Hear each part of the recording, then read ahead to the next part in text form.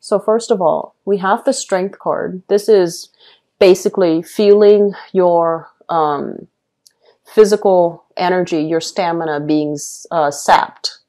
This is kind of like wearing yourself to the ground, working too hard. Um, some of you, I feel like in or like last month, especially if there have been falling outs with significant people in your life, you try to brush away those feelings. Whenever those you know feelings emerges you try to bury yourself at work. You try to put in overtime. You try to keep things kind of like keep those feelings um, at arm's length. You didn't want to deal with them. You didn't want to think about them you didn't want to really think about what you have to do. So you buried yourself in work. You buried yourself in avenues where you felt like you had a lot of control.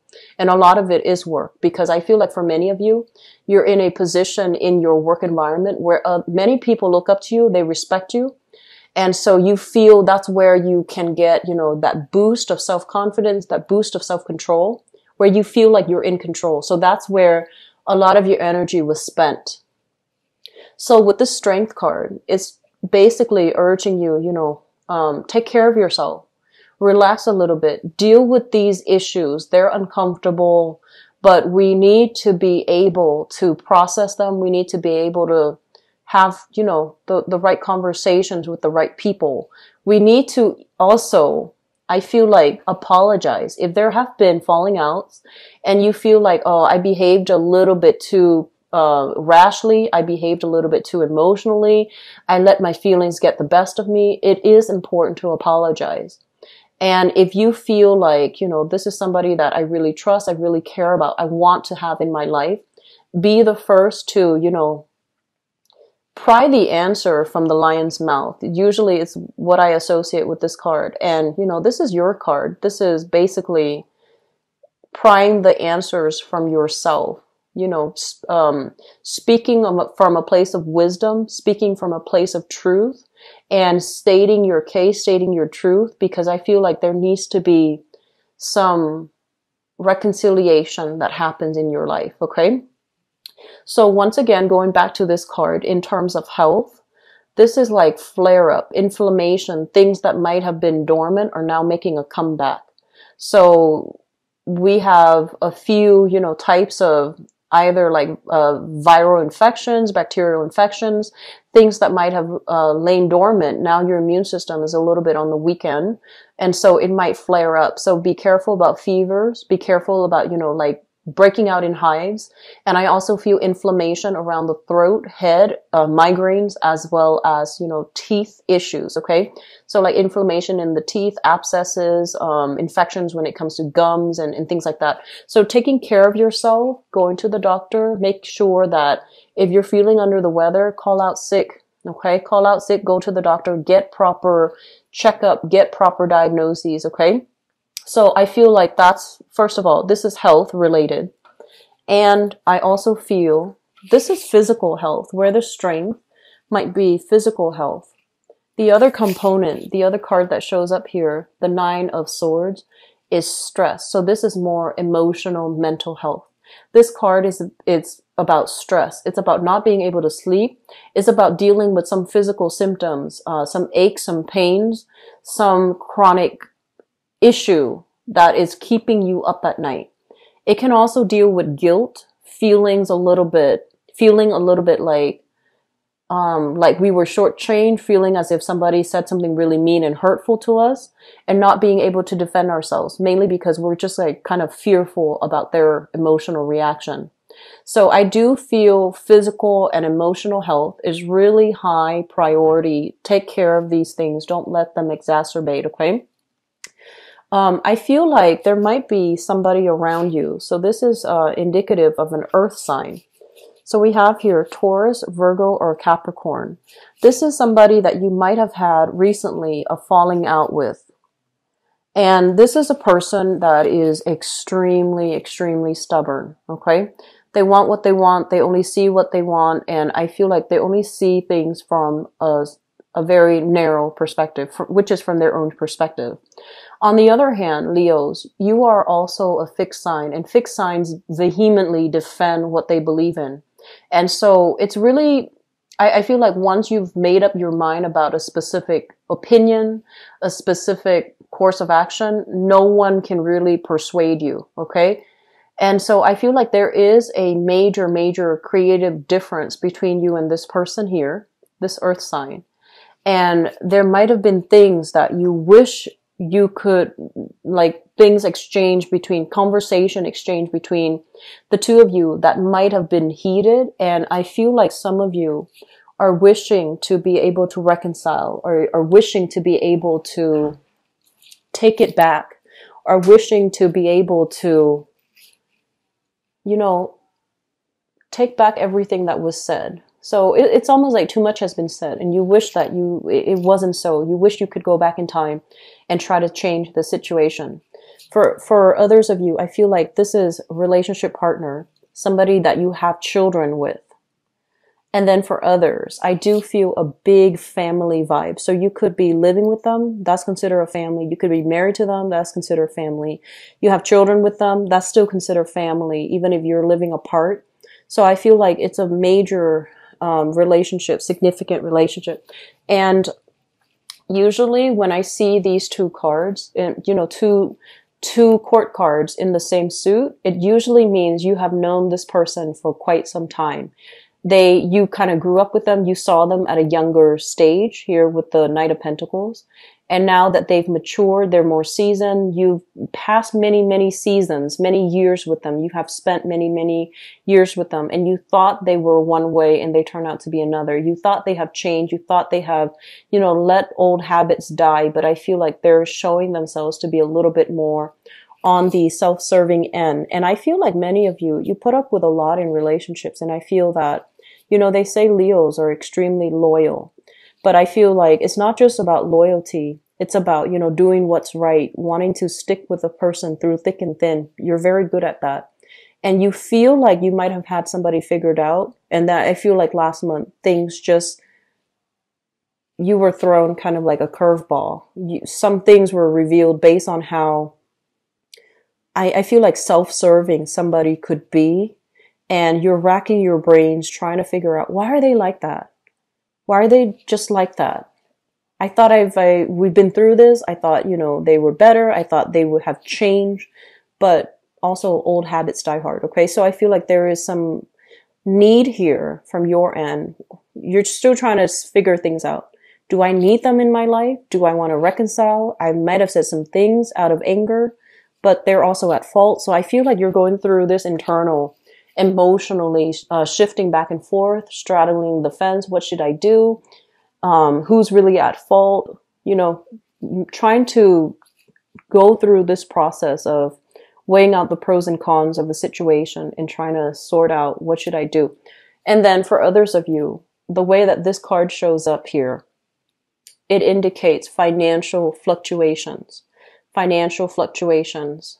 So I feel like for many of you, I honestly feel like there's a lot of stress and strain as it relates to work, making the type of money that you want, feeling as if you might have been passed over for some, like a promotion, um, going on a job interview and feeling like they might have gone ahead with another candidate. So I feel like you're you're in a situation where you you feel kind of jilted, you feel kind of jaded, and you're just like, do I want to continue working here. They're not appreciating me. Otherwise, they would have given me a promotion already. And then for others, it's like, I don't want to work with you anyways, you know, feeling like a little bit, um, getting your ego pricked a little bit and not wanting to stay in a specific predicament because of how you felt you were treated. And so we have new work and new projects that are coming into the picture for you. And if you are ever solicited, you know, for like, um, for some, some hours of your time, which sounds weird, but that's the way it came out. So this is kind of like a new, a person coming into the picture, making an offer to you. Do you want to, you know, do this contract? Do you want to work for me? Do you want to cover this one work project is short term? It's going to pay this much. And I feel like many of you, you have a lot going on in your life already and you're not really sure if you should do that. And so they're saying to go ahead and do it because I feel like this project, it's got your name stamped all over it, okay? It shows up here as the Ace of Wands rather than an Ace of Pentacles because I feel like it signifies to me that this is something that you would be really good at. It's like you're the one they have chosen to lead the charge. You're the one that they have chosen because of your skills, your assets and everything that you're bringing to the table, they feel like you would be a very good candidate. So find the time to take on an additional, uh, either more responsibilities or even taking on a second job because this, once again, a second stream of income that is going to be coming in for you. You're not really sure if you have the time left over to do it. You're not really sure if you should get involved in it, but I do feel that it's going to be good for you. Okay. So moving forward, on the other end, um, I feel like there's something wrong here with the living situation. I usually think of the Ace of Wands as like a house, a housing situation or a house situation. Okay. This is kind of like, you see that little house in the back? So it's kind of like a new venture. I do feel for many of you, there are stress and strain as it relates to moving, as it relates to picking a house, waiting for you know, like uh, an offer to come through, waiting for you to be able to sell your house before you can move into a new house. So things are being delayed a little bit. You can't really move. You can't really travel the way that you want. Things are being bogged down and slowed down significantly. So it's causing you a little bit of anxiety and stress because I sense that many of you, it's like there, there are a lot of children in the picture and they, you know, it's school time here. It's um, the beginning of a new year, especially in the uh, northern hemisphere. So many of you are trying to get things done in a timely manner. You know, enroll the kids in school, finding a new housing situation first, enrolling the kids in school, and so there's a, a myriad of things that you have to take care of.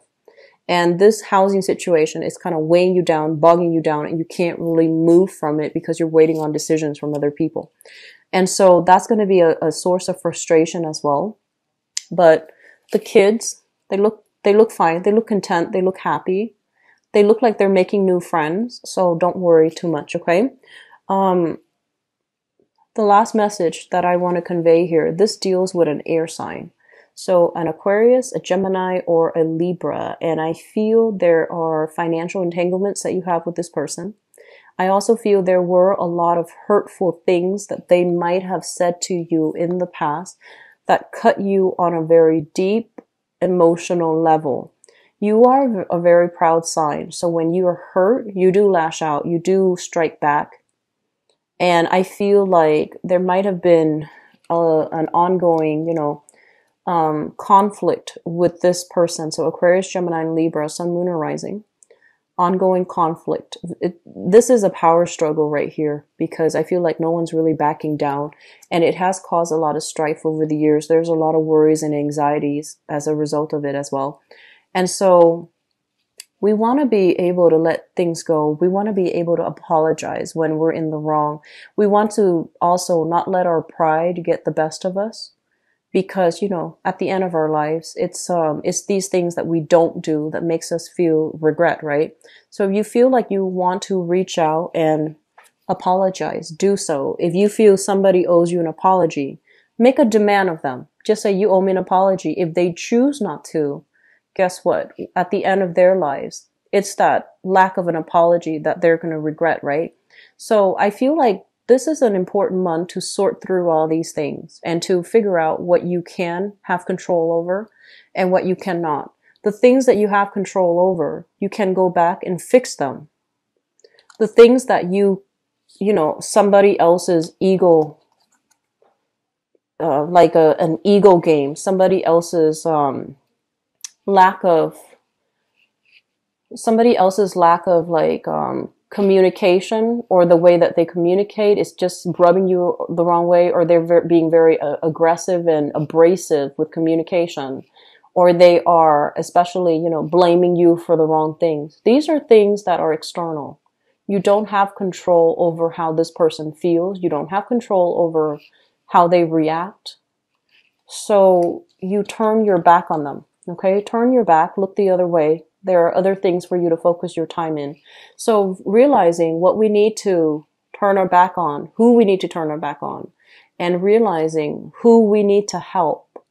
That's very crucial for this month because I feel like life is really too short for you guys this month. You're realizing that everything's very fragile. Relationships are really fragile. Life is very fragile. Time is speeding up. And so this month is about where are we wasting our energy? Where are we devoting our time? And where are we not being able to affect the change that we want because we're dealing with the riffraff that doesn't deserve our time? Okay. So I feel like the message is a little bit harsh, but I hope that it is well received and I hope that it is helpful for many of you who are dealing with this, okay? Things will get better financially. I feel like you have a second revenue stream that's coming through. You have people that I, I feel like, you know, you're struggling to hold it together.